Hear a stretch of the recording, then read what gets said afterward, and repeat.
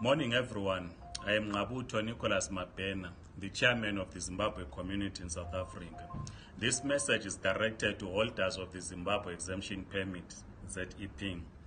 there is a message circulating on various uh, platforms on whatsapp and other social media platforms telling people to start the process of renewing their zep we want to use this platform to, inf to inform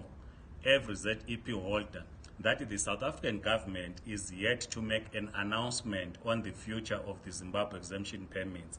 We are calling on you to ignore that message. It is a fake message. The Zimbabwean ambassador to South Africa even called us last night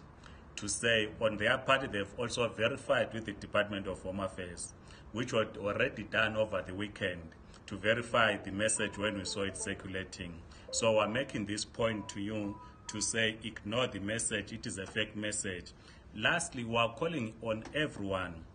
to stop circulating fake messages around zeping it is only the government of south africa through the department of home affairs or the minister of home affairs honorable mtswelede that will announce on what will happen to the zep holders when they expire on the 21st of december 2021 have a great day and stay safe from covid-19